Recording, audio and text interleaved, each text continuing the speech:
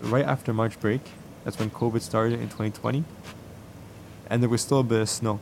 So I would bring my shovel to the field, dig myself just a big enough area so I could juggle and move around. And I'm training like three, four hours every single day.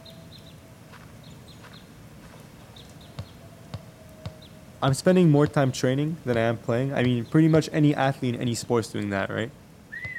If you don't invest time properly into what you want to do, how do you expect to perform?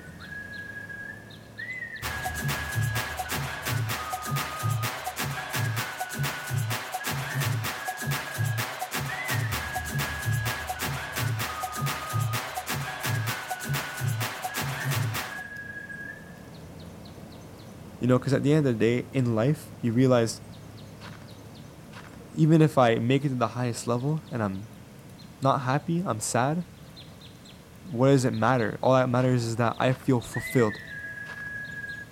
If you like what you are doing, then training with it becomes fun.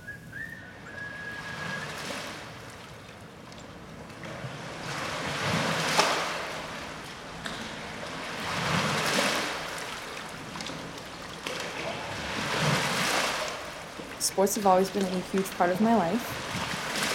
I knew that Concordia didn't have a rowing team, but that didn't stop me from wanting to compete uh, at the competitions and all of that. Basically, I had to start uh, my own team in order to represent Concordia at competitions. I did everything for it, and um, that basically allowed me to go to like all these different regattas.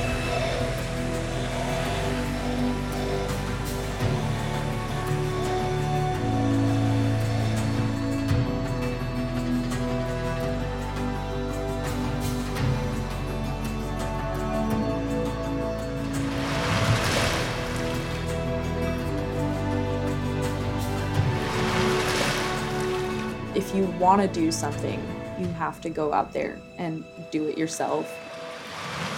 Even though it's a lot of work and time and effort, but once you do it, it's like an accomplishment on its own. The 1% better every day, it, it's not something that is new.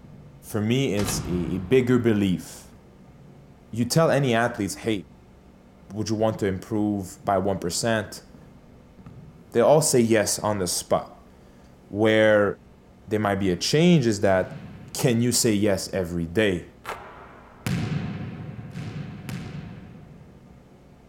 Basketball is my first love. I don't think there's a day where I'm gonna wake up saying I don't love basketball or I don't love this game. You know, you go through a bit of adversity as, as you get older and you realize that the game is always gonna be there.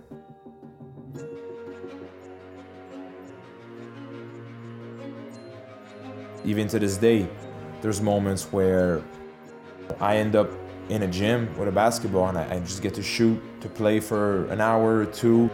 Basketball, it kind of becomes your world. It, like you make it your own world. There are days where you wake up and you don't want to go to practice.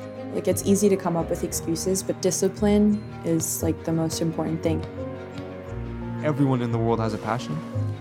You realize, damn, I can do this for hours, and then the training becomes fun soccer or any other sport or any other craft is just one method of expressing you. Now that I'm done, you kind of look back and you realize that it was just. It's not even about the sport, it's just about, you know, the athlete or the individual trying to become its best version of itself. You know, for some it's sports, for others it's going to be theater, it's going to be journalism, it's going to be a specific job. You know, the ultimate quest is about, you know, getting 1% better every day and just finding ways to improve every single day.